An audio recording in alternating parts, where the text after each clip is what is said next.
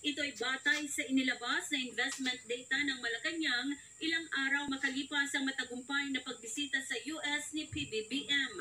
Ang 3.9 billion dollar investment ay magmumula sa Information Technology and Business Process Management o ITBPM data centers at manufacturing na inaasahan namang magbubukas sa mahigit 112,000 jobs para sa mga Pilipino. Magugunita na sunod-sunod ang mga naging business agreements at commitment na pinagtibay sa US trip ng Pangulo kung saan ay ilang malalaking kumpanya doon ang nagpahiwatig ng interes na maglagak ng puhunan sa Pilipinas.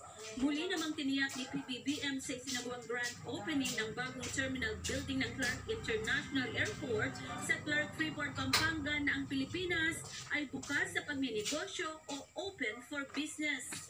And this is this is also it is another another point that the reason why we consider today and this ribbon cutting and opening very very important is that it is as was mentioned earlier it is a signal to the world that we are open for business.